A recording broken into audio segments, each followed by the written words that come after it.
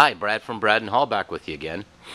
Uh, we're standing here in front of a Newmar Mountain Aire. It's a 2000 that uh, we've just taken the carpet out and also removed a bunch of ceramic tile. And we're going to put down the Dura Ceramic uh, it's, uh, it's a limestone composite tile by Congoleum. Real nice product. It's real durable. Doesn't add nearly as much weight as ceramic does, real porcelain, whatever tile. And it is also uh, it's flexible. And on this one, we're going to do uh, a grout. A lot of the jobs we've been doing, we're doing the groutless look. It's a little more contemporary, a little more modern. But to this one, we're actually going to do a, a, grout. And they have a special uh, acrylic adhesive grout that goes in there that's also flexible, so it won't crack and pop out of the, the seams between the tiles. So let me take you inside. I think they've got everything prepped. We're just getting ready uh, to do it here. You can see we've got just about everything out. In here and show you. We are going to have to do a little bit of repair. A lot of people surprised to know that a lot of these units, when we go to take the carpet out or take uh, the old flooring out of here, a lot of times we find uh, water damage. And if you look down here, you can see it. But if you see right here, I can actually take my finger and push my finger through the wood right there. So we're going to have to take this piece out. You can see that right there. That's really bad. Probably just from the window leaking in. So we have to take that out and replace that. Let me go back in here and show you. Got all the carpet out and about a million staples. Whoever put the carpet down in this one was real happy with the staple gun.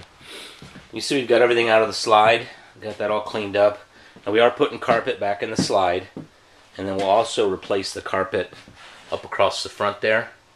And we have to put a little bit of carpet around the pedals up here because of the way the floor is, you can see it's recessed do have a little piece of wood in there where they had the carpet stapled to. So have a little bit of carpet around here. We'll redo the carpet around the uh, steering wheel there. Then we're going to trim it out with this uh, nice cherry transition molding here to go around it to kind of transition between that and the tile. So let me take you back here. well, also on some of these, the older Newmars, they actually put the tile in. This has only got a single slide. And the tile actually had linoleum down. I'm not sure why that's there, but there was tile on it we had to cut the tile and break all the tile up. And you can see we've already ground down the floor. There was uh, this was a little bit easier to do because they had a subfloor underneath the tile. So once we get the tile broken up, we can actually cut the subfloor out, which is a thin piece of Luan. But it makes it a lot easier. The Newmars are nice that way. A lot of the Monacos, they glue that tile right to the subfloor, and there's no way to get it around it. You can see some of the subfloor the Luan that they had here where we took the tile out. We still got to cut the rest of this. We're getting that out right now. If you look back in here, we actually already cut it off of this side. We still have to take it off this side. So we're back here in the bedroom. I'm not sure. I have to look at the paperwork. I'm not sure if we're changing the carpet in here or not. I assume we probably are. Let me show you this back here.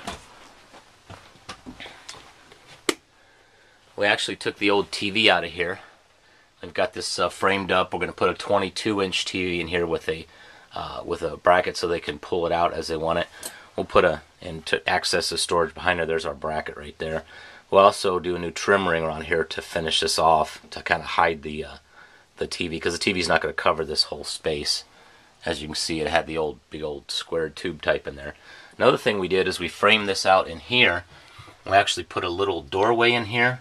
Uh, that you can access from inside the closet here. I don't know how good you can see that. I can pop this light on. So we just put a, a little cedar closet here. We put a little doorway in there. They're actually going to put a safe back in behind the TV. So unless somebody gets in their closet and pulls the clothes out, they're not really going to see it. But there's going to be a safe back there. They'll probably screw that down to the cabinet also. So that's that. You can see we got it trip tilted.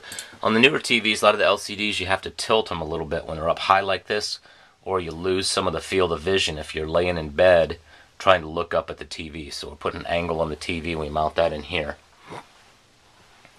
So I'll come up here, show you this. We're also going to have to put some spacers underneath the flooring here, or underneath the edge of the cabinets, because some of the tiles, as we took them out, um, there's actually a gap down there, as you can probably see right there. So we're going to have to fill that in to support the weight of the cabinet. And then we'll put the, the Dura ceramic down. And what we'll do is we'll go ahead and we got some uh, pretty much all our jobs now we're actually using real hardwood shoe molding all the way around. So we've got some. This is like a Washington cherry right here. So we, uh, one of our Amish guys made up some Washington cherry shoe molding for us. So when we get the tile down, we'll run trim all the way along the wall here, all the way here, all the way back around here. So this will be all trimmed out to cover any gaps or any spaces or any wood spacers that you see underneath there. So that's it for right now. We're getting ready to put the, almost ready to, got the floor cleaned up. You can see we had about uh, 10 or 15 dustpan full of uh, staples and old carpet foam. So that's coming up. Getting ready to put down the Duraceramic. So I'll keep you posted and show you how it goes. Thanks. Bye. Okay, here we are with our 2000 Newmar Mountain Aire. You see her down there. She's completely done. Folks are picking up about 10 minutes. So I'll show you what, what we got here. Okay, here's the step well. See, we redid the carpet on the inside. It's a lighter car. It's a lighter color carpet, I know, but um, it's what they chose. It looks nice inside. Um, these mats we made. Not sure how long those will work in that color, but we replaced all the rubber trim in there. Looks really nice. Recovered the step cover. And here we did a Duraceramic by Congoleum, and we did the grout. See, we did a little mat for the driver there. Goes around the driver's seat. We had to wrap that area in carpet around the pedals and stuff because that is a, uh, it's not a flat surface, so we couldn't really run the tile up there. But look at this. Check this out. There's the new uh, Thor chair from Lafer. Actually made a little rubber pad, rubber backed uh, carpet pad for underneath it. If you look at the detail on the floor, you can see the ceramic tile. It's not real ceramic, it's Duraceramic. It's a limestone composite, it's flexible, won't crack.